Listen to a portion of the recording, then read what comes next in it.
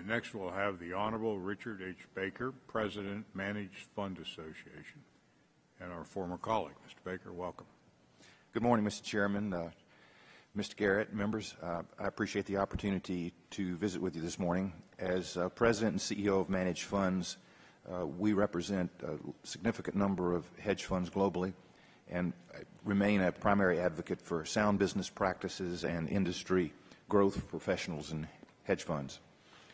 Uh, we do provide liquidity and price discovery to markets, capital to allow companies to grow, and sophisticated risk management to investors like pension plans.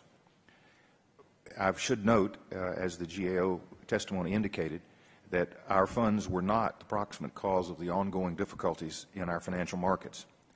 But our firms and investors have suffered, like many others, as a result of the current downturn. Despite these challenges, some of our firms, and continue to experience uh, difficulty, we have not sought a dollar of taxpayer money.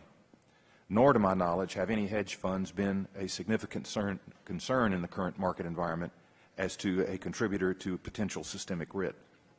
That's in part the result of our relative to the size to the broader financial universe, with an estimated 1.5 trillion, and that number varies depending on market conditions.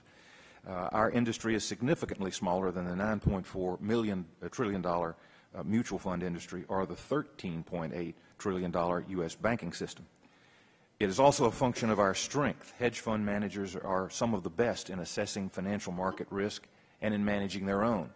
Our managers' interests are also aligned with those of our investors. Their money is engaged in the same investment strategy. And it's also a function of how we deploy credit. Today, many hedge funds use little or no leverage, and this has been a repetitive mischaracterization of our industry in reports. The highly leveraged hedge fund industry. Uh, it's continued source of frustration.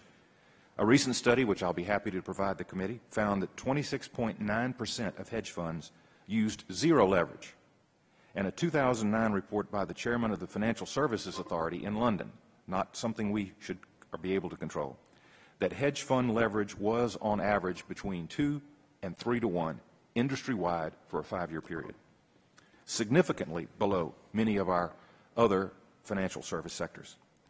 As a, as a, result of these factors, losses at hedge funds have not posed systemic risk the way that losses at more highly leveraged institutions have.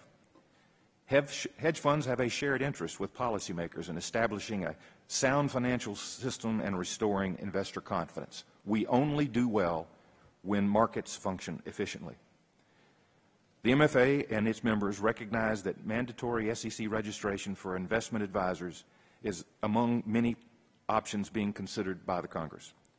In our view, registering investment advisors, including advisors to all private pools of capital under the Investment Advisors Act, is the right approach. While not a panacea, it can play an important role toward the shared goals of promoting efficiency in the markets market integrity, and providing a measure of investor protection. Mr. Chairman, we didn't come to this decision very easily at all. Uh, it's been debated for a considerable amount of time. But I should point out that over half our members and over 70% of assets under management already voluntarily register with the SEC. What we're recommending today, however, goes beyond what Treasury Secretary Geithner proposed. The Secretary suggested only the largest fund advisors for the purpose of systemic risk register. What we are supporting today will subject the vast majority of investment advisors above some de minimis standard, which we do not define, to required registration. And it is significant.